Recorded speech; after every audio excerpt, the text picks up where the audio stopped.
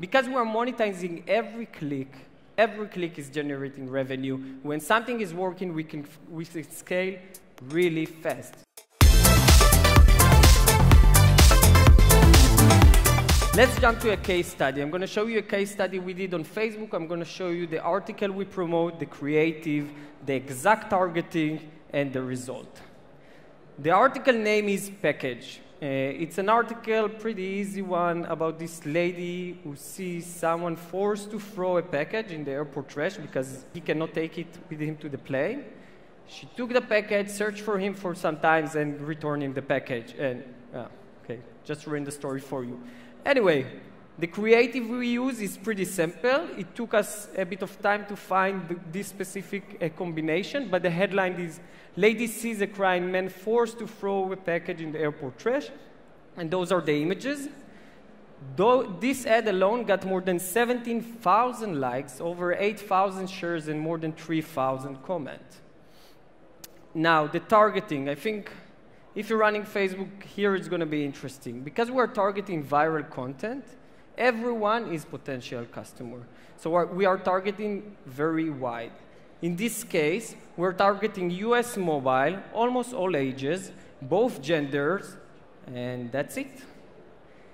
We don't use any custom audience or any interest. That leaves us with a potential reach of 76 million people uh, to show them our ads. And yeah, we do use Pixel to target better users, but that's it. It's all about creative.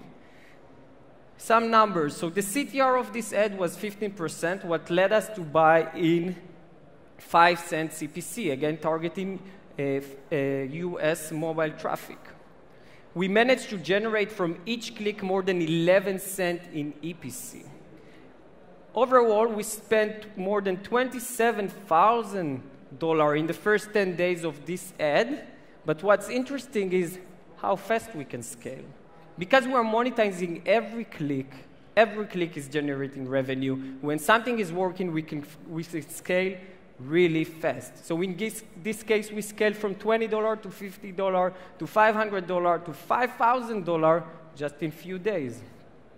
Oh, and you know why we stop at $5,000? If you're doing Facebook, you know Facebook have a limit on the daily cap that you can spend on one account. You can open it by talking with the support, but in this case, it wasn't open. So potentially, this ad can generate more.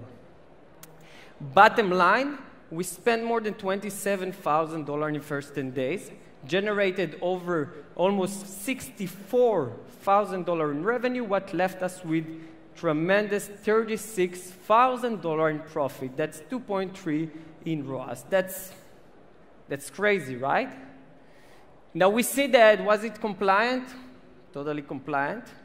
Does it target large audience?